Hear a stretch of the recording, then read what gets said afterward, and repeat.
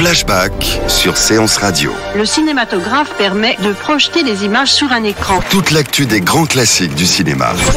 Bientôt, les films vont être sonorisés. Flashback avec Antoine Cyr et Antoine Julien. Je ne sais pas si vous vous rendez compte de l'aspect grandiose du mélange. Our first full-length motion picture feature in color opens a whole new world of thrill. Flashback sur Séance Radio. Ça, c'est le cinéma.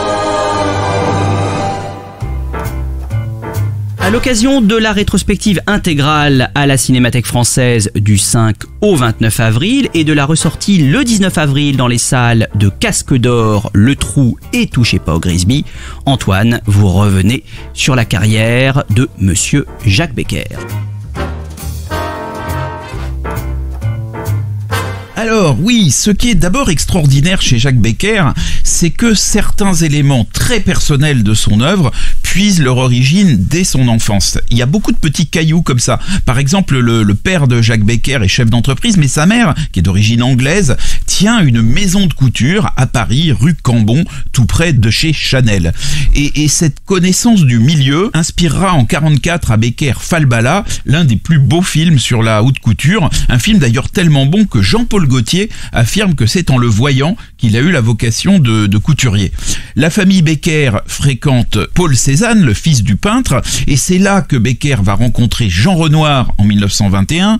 Cette rencontre va jouer un rôle essentiel dans la vie de cinéaste de Jacques Becker, mais Renoir, c'est aussi évidemment la, peinture, à travers le père de Renoir, et la peinture va elle aussi se faire une place dans le cinéma de Becker, notamment à travers Montparnasse 19, que Becker tournera en 58. Et puis, euh, ces années 20 euh, sont aussi les grandes années du jazz et le jeune Becker est alors passionné par cette musique autant que par le cinéma. Il fréquente le Bœuf sur le Toit qui est le temple du jazz et il va même se faire engager comme steward sur les paquebots qui traversent l'Atlantique pour aller rencontrer les, jazzmen euh, américains. Comment s'étonner dès lors que Rendez-vous de juillet, qui est l'un des films les plus emblématiques sur la génération perdue de l'après-guerre, se déroule justement dans les boîtes de jazz de Saint-Germain-des-Prés avec la musique du, légendaire Claude Luther. Alors, donc on a euh, notre Jacques Becker qui a plein d'ouvertures comme ça, mais on est toujours euh, dans les années 20 et il se morfond dans l'entreprise de son père jusqu'au jour où finalement il démissionne et là il court retrouver Jean Renoir qui est alors en train de faire les, extérieurs de, la chienne. Il lui demande de l'engager et il va devenir l'assistant de, de Jean Renoir. Il va bientôt être à l'origine d'un film de Renoir, Le crime de Monsieur Lange, mais la réalisation va lui échapper euh, justement au profit de Renoir. Et là, ça va inaugurer des relations un peu tendues entre les deux hommes, où il y a une admiration et en même temps une, une certaine tension. Euh, mais, mais Becker va, va quand même rester euh, assistant de Renoir. Il va souvent dire que c'était quelque chose qui a été très important euh, pour lui, tout en regrettant de ne pas avoir été réalisateur plus jeune. Et d'ailleurs, le, le, dernier film de Becker, Le Trou, qui raconte une évasion, sera une forme d'hommage à la grande illusion de Jean Renoir, dans lequel il y a aussi euh, une, évasion.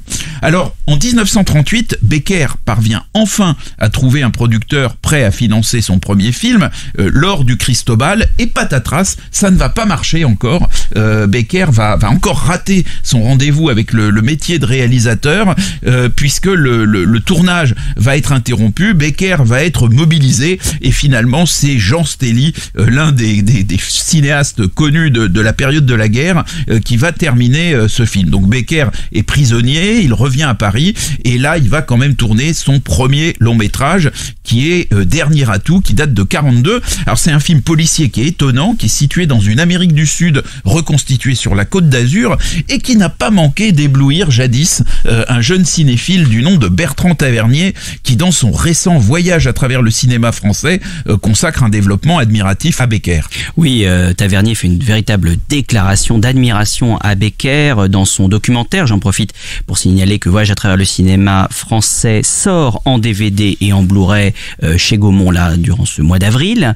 Tavernier qui disait de la mise en scène de Becker qu'elle tend l'émotion comme on tend les muscles, la sobriété et l'épure euh, sont ses qualités premières et en effet, euh, particulièrement sur la fin, Jacques Becker sera l'incarnation de cette épure. Et notamment dans son dernier film, on va y revenir, mais pour l'instant on est sous l'occupation où Becker réalise trois films différents, euh, mais qui imposent euh, son style avec une utilisation, euh, je dirais, épurée, mais en même temps très très vive, par exemple du, du mouvement de caméra.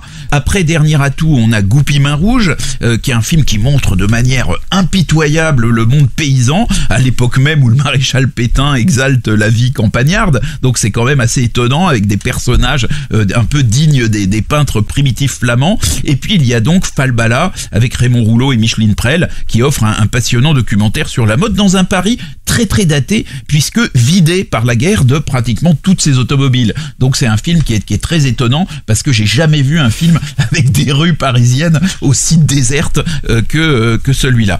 Après la guerre, la Becker va tourner plusieurs comédies qui dressent un portrait de la société française de l'après-guerre, qui, qui, ne sera pas d'ailleurs sans influencer Truffaut et sa série des, des, Antoine Douanel. Alors on a Antoine et Antoinette, Palme d'Or au deuxième festival de Cannes, et puis trois films où on retrouve Daniel Gélin, Rendez-vous de juillet, Édouard et Caroline, et puis Rue de l'Estrapade. Il y a, un regard d'une vraie profondeur sur les personnages, une, formidable aussi direction euh, d'acteurs, et puis un équilibre entre la justesse psychologique des dialogues et, la qualité de la, mise en scène euh, qui, sont vraiment la, marque de, ces films. Alors en 1952, on a Casque d'or. Le, regard social de Becker se double de, poésie, toujours porté par une caméra à l'agilité pleine d'élégance et en même temps de, de, discrétion, surtout quand elle filme les danses. Cette rencontre tragique de Simone Signoret et de Serge Reggiani dans le Paris de la Belle Époque donne peut-être le film français qui ressemble le plus à ce que Zola ou Victor Hugo auraient filmé si leur stylo avait été une caméra. C'est vraiment un, un, roman classique, c'est un, un, grand roman du 19e fait pour le cinéma. Georges, on est encore à table, tu sais. Qui c'est celle-là? C'est moi qui devrais vous demander ça, madame. Il vous a peut-être pas dit qu'il était fiancé? Ah, excuse-moi, je pouvais pas deviner. Salut, hein. Marie. À ta santé, mon brave. Putain Quoi Allez, Marie, vaut mieux que tu t'en ailles. Je demande pardon, mais je l'ai reçu hier comme ça on est quitte. Moins de, de, deux ans plus tard, Becker se propulse dans un tout autre genre d'écriture en signant le prototype du film noir français, euh, Touchez pas au Grisby. C'est le film qui va relancer euh, la carrière oui. euh, de, de, Gabin. Alors d'ailleurs, ce film est tiré d'un roman d'Albert Simonin dont on oublie trop souvent qu'il est l'auteur du scénario des tonton flingueur. Oui. Voilà. Alors après, bon, Becker va faire Ali Baba et les 40 voleurs. C'est un film pour enfants euh, dans lequel on peut voir euh, Fernandel répéter Sésame, ouvre-toi avec l'accent de, de, Marseille. Le euh, temps n'a pas dû faire que du bien ce film. C'est c'est une curiosité. voilà. Euh, mais moi, c'est des souvenirs d'enfants.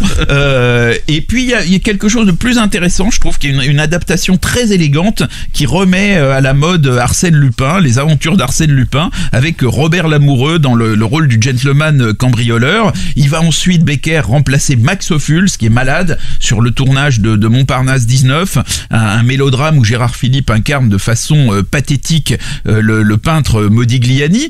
Et puis donc nous allons avoir Le Trou en 1960, qui est un chef-d'œuvre, qui est adapté d'un roman quasi autobiographique de José Giovanni, qui va d'ailleurs à cette occasion euh, passer dans le camp, si on peut dire, des, des, des écrivains des et des auteurs et, des, auteurs et des cinéastes, alors qu'avant il était repris de, de, justice, il sortait de, de, de, prison. Et le, et le regard social de Becker euh, va passer cette fois-ci par le refus d'utiliser des vedettes pour raconter l'obstination méticuleuse, euh, acharnée même, d'un groupe de prisonniers décidés euh, à, à, à s'évader. C'est un quasi huis clos qui permet à Becker de promener sa caméra toujours aussi virtuose dans un espace minimal et dans un décor euh, lui-même euh, minimaliste, mais ça va être malheureusement le dernier film de Becker qui va mourir prématurément à 54 ans d'une hémochromatose, une maladie héréditaire assez rare, non sans avoir travaillé jusqu'au dernier jour, parce que Becker était perclus de froid pendant les tournages dans les souterrains du fort d'Ivry où avaient été reconstitués les égouts de la prison de la, la santé.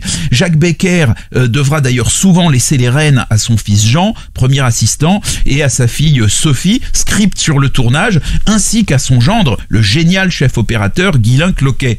Parce que euh, Becker avait inventé euh, une façon très moderne de filmer des histoires classiques, il était très admiré des réalisateurs de la nouvelle vague, qui avaient pourtant la dent dure pour ses autres contemporains, et Godard dira au moment de la mort de Becker, comme Molière, Becker est mort sur un champ de bataille inouï et terrible, celui de la création artistique. Alors Antoine, il y a trois films donc de, de Jacques Becker qui ressortent en salle, sans doute les plus célèbres, les plus célébrés, euh, Touchez pas au Grisby, Le Trou et Casque d'Or. Mais donc dans cette rétrospective qu'on peut découvrir à la Cinémathèque française, s'il n'y avait qu'un film vraiment à redécouvrir, peut-être mésestimé ou pas assez connu ou pas assez vu, lequel serait-il selon Alors, vous? Alors, Choix difficile. ça- non, c'est parce que si vraiment les, les- vous avez cité quand même les chefs-d'œuvre, absolument. Voilà, voilà. c'est bien pour ça que Après, moi, j'ai une, une vraie tendresse pour Dernier Atout, qui est un film très original euh, dans le cinéma euh, français euh, des années 40. Et puis, bon, mais évidemment, ça reste euh, un premier film. Et moi, j'aime beaucoup, alors que c'est un film qui est très controversé, j'aime beaucoup aussi le Montparnasse 19, le, le film sur Modigliani avec Gérard Philippe. Je le trouve euh, très, très, très, très étonnant. Mais vous avez le droit aussi de voir les plus ou moins comédies de mœurs avec Daniel Gélin. À mon avis, le film qui est un petit peu surestimé, même s'il est très intéressant historiquement, c'est Rendez-vous de juillet, qui est un film intéressant quand on aime l'existentialisme, euh, le jazz et une certaine époque, mais qui en soi euh, n'est probablement pas le meilleur film de Becker. Voilà, donc une filmographie euh, à redécouvrir dans les salles de cinéma, donc à travers ces trois ressorties, Casque d'Or, Le Trou et Touchez pas Grisby, et bien sûr à la Cinémathèque française à travers cette rétrospective intégrale.